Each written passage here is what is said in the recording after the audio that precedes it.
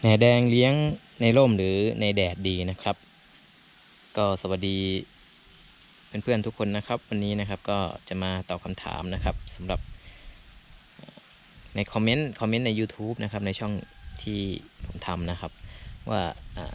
มีเพื่อนๆสอบถามมานะครับ ว่าหนแดงเนี่ยครับจะเลี้ยงในร่มหรือว่าในแดดดีกลางแดดดีนะครับ คือในแดงนะครับบ่อนี้นะครับผมเลี้ยง กลางแจ้งเลยนะครับ มีแดดตลอดทั้งวันเลยนะครับ ก็ เติบโตดีนะครับแหนแดงที่ผมเลี้ยงนะครับ จะแดดแรงก็เขาก็อยู่ได้นะครับ ขอแค่มีน้ำนะครับ แล้วก็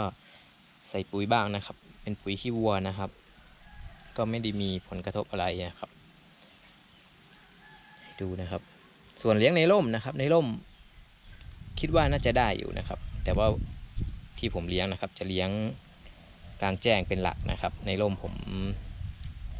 ยังไม่ได้ลองเลี้ยงดูนะครับ แต่ว่าคิดว่าถ้าแสงลำไรนะครับ แสงแดด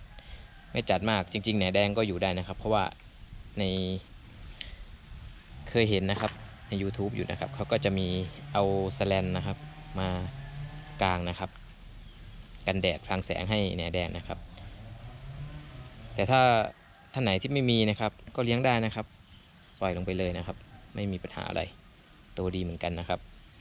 โอเคครับ ก็ขอจบเพียงเท่านี้นะครับผมสำหรับท่านใดนะครับที่สนใจนะครับ อยากจะเลี้ยงแหนแดงนะครับ ก็มีจำหน่ายอยู่นะครับ ขายกิโลกรัมละ 200 บาทนะครับ โปรโมชั่น 3 กิโล 500 บาทนะครับ ส่งฟรีเคอรี่นะครับ1-2 วันก็ถึงแล้วนะครับ ถ้าโซนไม่ใช่ พื้นที่ห่างไกลนะครับ วันเดียวก็ถึงนะครับ ส่งวันนี้พรุ่งนี้ก็ได้รับแล้วนะครับแหนแดงไม่ตายแน่นอนครับผม โอเคครับ ขอบคุณมากครับ สวัสดีครับ